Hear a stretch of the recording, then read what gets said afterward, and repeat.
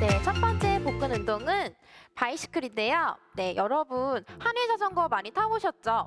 그 하늘 자전거를 연상하시면서 한다면 조금 더 쉽게 접근하실 수 운동입니다. 자, 운동 한번 보여드릴게요.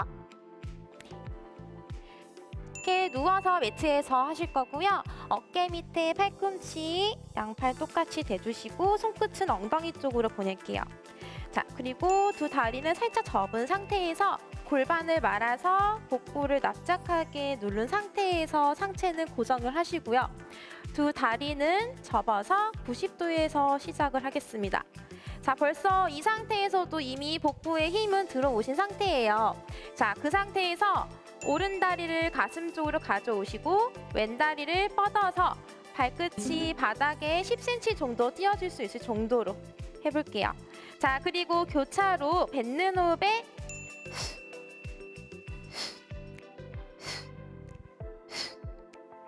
네, 이런 식으로 해주시면 되는데요. 네, 아무래도 이렇게 하시다 보면 복부 힘이 약해져서 점점 상체가 딸려가서 이렇게 허리가 껴- 꺾이는 동작을 많이 보실 수 있어요. 이럴 경우에는 최대한 엉덩이를 바닥으로 더 지면을 누른다는 생각으로 해주시고요. 최대한 복부를 당기고 특히 또 여기서 팔꿈치가 이렇게 힘이 빠져서 상체가 꺼지지 않게 최대한 바닥 쪽으로 밀어내시고요. 턱 들리지 않게 당겨서 해주시면 됩니다. 그리고 여기서 하나 더 포인트는 여기서 바닥에서 10cm라고 제가 말씀드렸는데요.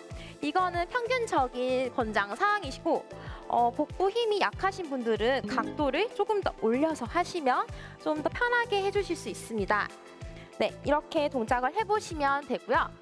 네, 이 바이시클 동작은 총 20개씩 4세트를 권장해 드리고요. 아무래도 이 운동은 어, 대부분 여성분들이 이 시덥이나 크런치 같은 상복부 위주로 운동을 많이 하셨을 거예요. 그럴수록 이 하복부가 많이 약해져 있기 때문에 최대한 이 운동을 조금 더 많이 해주시는 게 저는 좀 더 권장해 드리고요. 각도를 좀 더 올릴수록 편하기 때문에 이런 식으로 점점 운동을 하시다 보면 아름다운 복근을 가지실 수 있으실 겁니다.